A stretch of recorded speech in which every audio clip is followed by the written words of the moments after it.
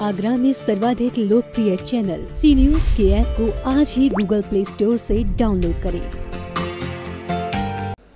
आगरा में कोई भूखा न सोए। इस पर आगरा में तैनात सब इंस्पेक्टर शैलेंद्र सिंह यादव और उनके पुत्र मनीष यादव ने मिलकर ये जिम्मा उठाया है। लॉकडाउन में मरीज़ के तीमारदार खाने पीने के लिए इधर उधर न भटकें। इसके लिए सारे अस्पतालों के बाहर फुटपाथ पर, चौराहों पर हर आते जाते भूखे प्यासे लोगों के पास खाना पहुँचाने का काम कर रहे हैं।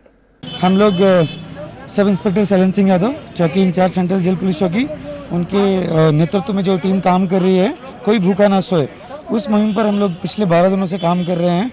तेरहवा दिन आज हमारा, हम प्रतिदिन 500 से 600 लोगों का खाना डिस्ट्रीब्यूट कर रहे हैं, आगरा के हर कोने में, हर अस्पताल के बाहर, गैस एजेंसीज के बाहर, बस स्टैंड पर, जहाँ भी हमें लगता है कि ज़रूरतमंदों को खाना देना है, वहाँ पर हमारी पूरी टीम जाती है और हमारी जो टीम जाती है डिस्ट्रीब्यूशन के उसका नेतृत्व हमारे जितेंद्र सिंह चार जी करते हैं और भी हमारी टीम के जो सदस्य हैं हमें एक्स सर्विसमैन तीन लोगों ने ज्वाइन करा है अ, दरियाब सिंह नरेंद्र सिंह चौधरी और धर्मेंद्र यादव।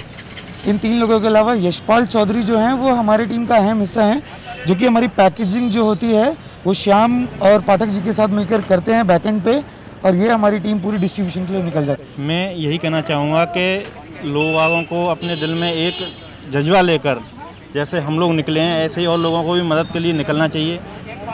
जो मदद बन सके, ज़रूरी नहीं है कि वो आप सौ लोगों की करो, पचास, पाँच सौ की करो, जितना हो सके लोगों को घर से बाहर निकल के मदद करनी चाहिए।